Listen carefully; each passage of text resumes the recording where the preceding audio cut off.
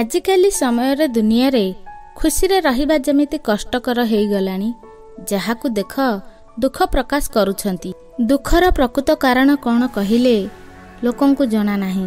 କିନ୍ତୁ ପଚାରିଲେ ସେମାନେ କହିବେ ଆମଠାରୁ ଦୁଃଖୀ ଓ ଅଭାବୀ ମଣିଷ ଏ ଦୁନିଆରେ ଆଉ କେହି ନାହିଁ। ନିଜର ସୁନ୍ଦର ଜୀବନକୁ ଅସୁନ୍ଦର କରିବାରେ ଲାଗିଛନ୍ତି ସମସ୍ତେ। ଛୋଟ ଛୋଟ କଥାକୁ ଦୁଃଖ ବୋଲି ମଣୁଛନ୍ତି। ଟିକେ ଟିକେ ଅଭାବକୁ ବଡ଼ ସମସ୍ୟା ବୋଲି ଭାବୁଛନ୍ତି। ଆଜିକାଲି ଯାହାକୁ ଦେଖ କାହାରି ମୁହଁରେ ହସ ନାହିଁ।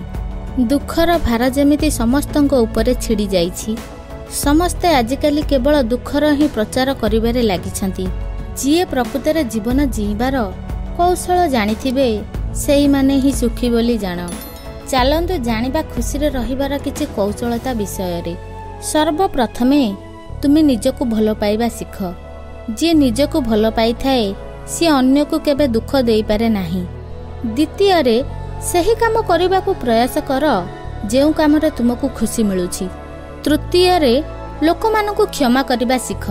ସିଏ ଯେତେ ବଡ଼ ଶତ୍ରୁ ହେଇଥାନ୍ତୁ ନା କାହିଁକି ତାଙ୍କୁ କ୍ଷମା କରିଦିଅ।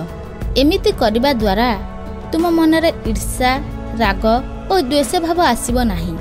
ଯାହା ଫଳରେ ତୁମ ମନ ଶାନ୍ତ ରହିବ ଓ ଆନ୍ତରିକ ଶାନ୍ତି ମିଳିବ। ତୁମେ ନିଜକୁ ଗ୍ରହଣ କରିବା ଶିଖ। କାରଣ ଆମ ସମସ୍ତଙ୍କ ଭିତରେ କିଛି ନା କିଛି କମ୍ ଓ ବହୁତ ଥାଏ। କାହାର ସ୍ୱାସ୍ଥ୍ୟ ଶରୀର କିମ୍ବା ଘରଦ୍ୱାର ଅନ୍ୟ ଜିନିଷରେ ମଧ୍ୟ କମ୍ ବହୁତ ଥାଏ। ଯଦି ଆମେ ସେସବୁକୁ ଗ୍ରହଣ କରିବା ଶିଖିଯିବା ତେବେ ଜୀବନ ସରଳ ଓ ସୁନ୍ଦର ହେଇଯିବ। ତୁମକୁ ଯଦି ଜୀବନରେ ଅନ୍ୟକୁ ସାହାଯ୍ୟ କରିବାରେ ସୁଯୋଗ ମିଳୁଛି ତେବେ ସଦାବେଳେ ଅନ୍ୟକୁ କିଛି ନା କିଛି ସାହାଯ୍ୟ କର। ଅନ୍ୟକୁ ସାହାଯ୍ୟ କରିବା ଦ୍ୱାରା ବି ଆନ୍ତରିକ ସନ୍ତୁଷ୍ଟି ଓ ଖୁସି ମିଳିଥାଏ। ବର୍ତ୍ତମାନ ଯାହା ତୁମ ପାଖରେ ଅଛି ବୋଧହୁଏ ତାହା ଅନ୍ୟ କାହା ପାଖରେ ନଥିବ।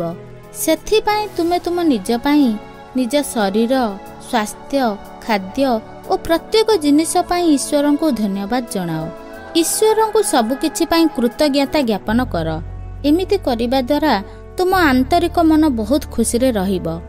ଦେଖନ୍ତୁ ସମସ୍ତଙ୍କ ଜୀବନରେ କିଛି ନା କିଛି ପ୍ରୋବ୍ଲେମ୍ ଥାଏ। ତା ମାନେ ନୁହେଁ ଯେ ଆମେ କୌଣସି ଗୋଟିଏ ପ୍ରୋବ୍ଲେମ୍ ପାଇଁ ନିଜର ସମ୍ପୂର୍ଣ୍ଣ ଜୀବନକୁ ଦୁଃଖର ଭାର ବୋଲି ମନେ କରିବା। ସେମିତି ଦେଖିବାକୁ ଗଲେ ସମସ୍ୟା କାହା ଜୀବନରେ ନାହିଁ। ପ୍ରତ୍ୟେକ ବ୍ୟକ୍ତିଙ୍କ ଜୀବନରେ କିଛି ନା କିଛି ସମସ୍ୟା ଅଛି। କିନ୍ତୁ ଦୁଃଖୀ ସେହିମାନେ ବେଶୀ ହୋଇଥାନ୍ତି ଯେଉଁମାନେ ସମସ୍ୟାକୁ ସାହସର ସହ ସାମ୍ନା କରନ୍ତି ନାହିଁ। ଆଉ ସୁଖୀ ସେଇମାନେ ହୋଇଥାନ୍ତି ଯେଉଁମାନେ ସମସ୍ୟାକୁ ଜୀବନର ଗୋଟେ ଅଂଶ ବୋଲି ସ୍ୱୀକାର କରନ୍ତି। ତାକୁ ସମାଧାନ କରିବାକୁ ପ୍ରୟାସ କରନ୍ତି।